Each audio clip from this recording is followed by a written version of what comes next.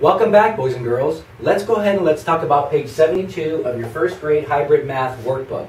And what we're going to be looking at right now are some number equations, and we're going to figure out if it's true or if it's false, okay? So let's take a look at the very first one.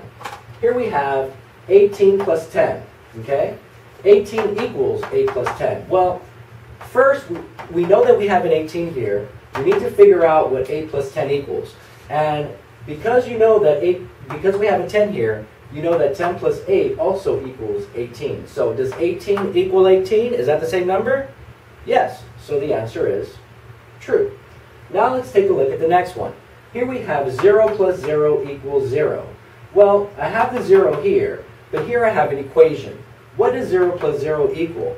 That's correct. It equals 0. So does 0 equal 0? Yes, it's the same number, so the answer is also true. Now let's take a look at the next one.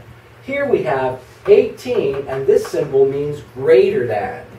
18 is greater than 5, okay? Is 18 greater than 5? Is it bigger than 5? If I tell you that I'm going to give you 18 apples, and I'm going to have 5 apples, who has more? Do you have more, or do I have more? Yes, you have more. So 18 is greater than 5. So that is also true. Now let's take a look at the next one, number 4.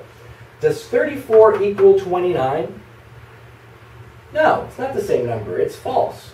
Okay, so let's go ahead and circle false. Now let's take a look at the, number, the next one, number 5. Here we have an equation. 0 plus 2 equals 4. Let's do this part here. 0 plus 2 equals what? That's correct, boys and girls. It equals 2. Does 2 equal 4? No, they're different numbers, so the answer is false. Now let's take a look at this one here. 5 is, 5 is less than 2. Is that true?